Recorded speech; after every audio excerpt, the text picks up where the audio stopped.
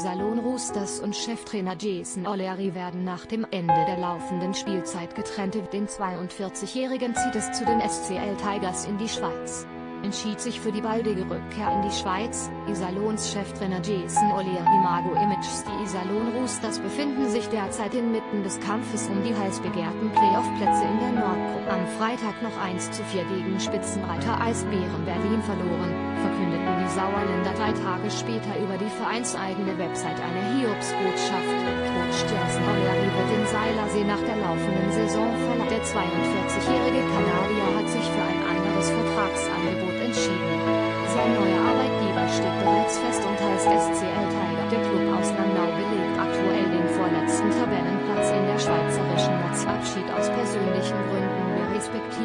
dass Jason sich entschieden hat, nach der Saison eine neue Herausforderung. Seine neue Stelle wird sich besser mit seinem privaten Umfeld verbinden lassen. Das war ein wichtiger Teil seiner Entscheidung, erklärt Iserlohns sportlicher Leiter Christian Hommel die Hintergründe. Selbst meldete sich O'Leary natürlich auch zu Wort, ich werde den Seilersee schweren Herzens verlassen. Aber nach so einem schwierigen Jahr ist mein Platz in Zukunft bei meinem Kind. Ich habe hier viele gute Leute in der Stadt und im Verein kennengelernt und arbeite gerne mit ihnen zusammen. Aber die Distanz zwischen mir und meinen beiden Jungs ist mit zu vielen Reisebeschränkungen einfach.